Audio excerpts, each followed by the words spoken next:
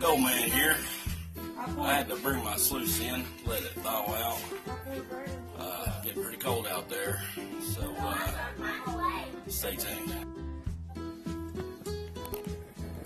All right, and we're back.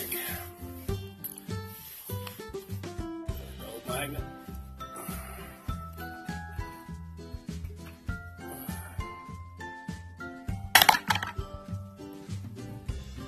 Working.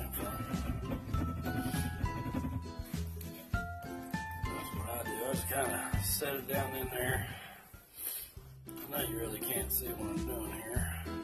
Set it down in there. Pat it all around. And it's full of it. I mean, look at that. That is what you get here in eastern Tennessee more than gold. Probably get that everywhere. But I've only done eastern U.S.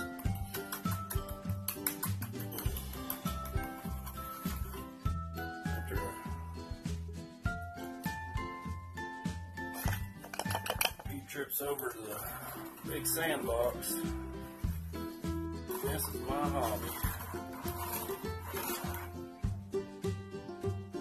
Go out there, bring concentrates back. This is what I do. I mean, that is a lot of black sand. That's really